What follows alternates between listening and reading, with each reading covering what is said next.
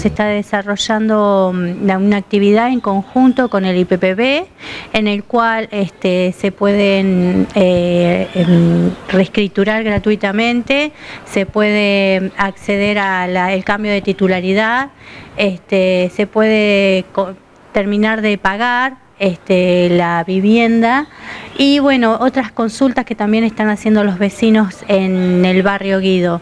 Este, sabemos que es muy importante para todos los vecinos poder acceder a la escritura gratuita, así que se han acercado muchísimos a consultar, a, preguntar y a sacarse todas las dudas, eh, ya que bueno, eh, lo que quiere el vecino es tenerle la titularidad de, la vivienda, ¿no? Bueno, justamente imagino que ha sido una demanda de este espacio donde vienen muchos vecinos y vecinas de tener la posibilidad de traer al IPPB aquí.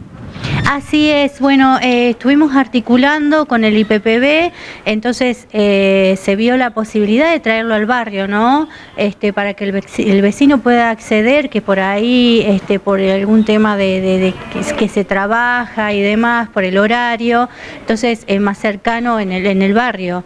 Así que bueno, sí, eh, muy amablemente accedieron.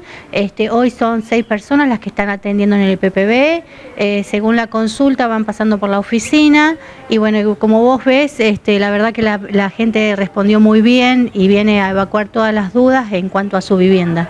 Ahí me lo comentabas que la idea es, eh, bueno, la gente del IPP tiene ganas de seguir recorriendo otros barrios. Así es, este, por lo que nos comentaba el titular del IPPB, Otero, eh, van a continuar por el barrio Inalauquen y después las 1016 viviendas.